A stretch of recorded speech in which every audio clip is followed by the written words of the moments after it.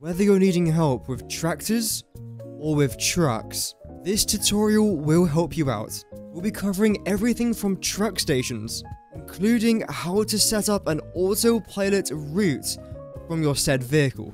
My name's the Valhallan Pickle, and this is the ultimate guide to trucks and tractors in Satisfactory 1.0. Starting off with the tractors, the price of this thing is relatively cheap compared to the truck.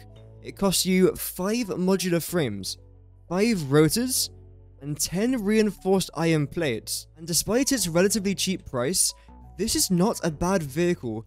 This thing has 25 storage slots, and it can take a lot of fuel as well. Of course, you can use coal, which is actually rather important for this project. Not only does it have quite a lot of storage, but there's also a crafting bench tab that not many people utilize. The max speed of the tractor is 69 kilometers per hour, which is 6 kilometers slower than this behemoth of a machine. This is the truck.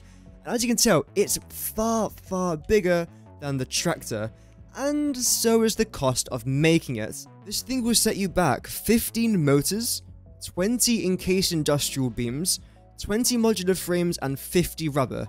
The reason as to why it costs more is because you unlock this later on in the game. And here's another size comparison. Again, this thing is rather big compared to the tractor. So as you'd expect, its storage is far greater. You can store 48 items inside of the truck, which is amazing.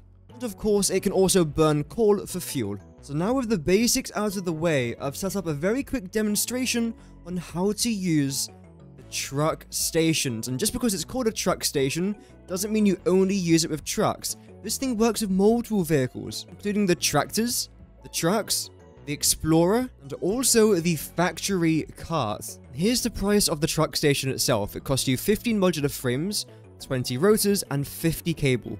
Not bad, really. So in this example I've set up, what I want to try and do is transport 60 coal per minute through my truck station using a tractor. I will be using a tractor for this example so that newer players who have just unlocked the tractors can follow along at home. I then want to drive up the road to that truck station and deliver the coal into this storage container. And obviously for this example, we're not really going that far from our original truck station, but I'd like to show you where the final destination is just so it's easier to understand what exactly we are doing. I don't necessarily recommend making trucks if you're only going to go about 50 meters, it's not really worth it. Regardless, what we want to do is connect our belts to the entrance here, and you can see there are three different entrances.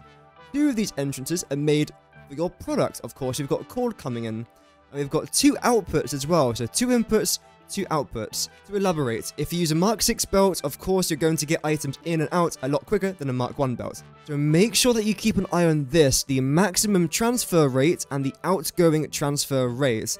Because if you've got too many items coming into here, and not enough tractors or trucks picking it up, you're then going to have an overflow, which you don't really want. It means that this is not efficient. So this is all working fine. However, let's talk a bit more about this.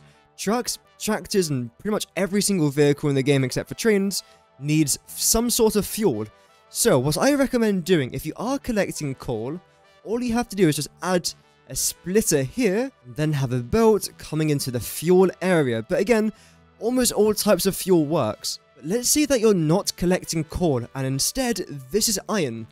How on earth do you fuel this up when you've only got trucks or tractors unlocked and you can't get drones from just to, to fly from one place of the map to the other?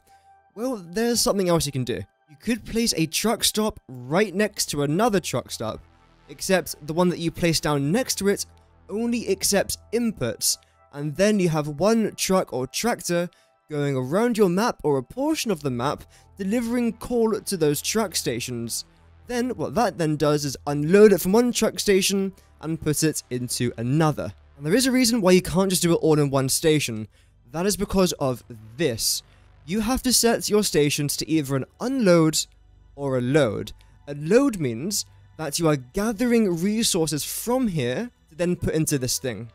Whereas an unload means that you are unloading from a truck or tractor into this to then get used on the other side, which is exactly what we'll be doing just down the road.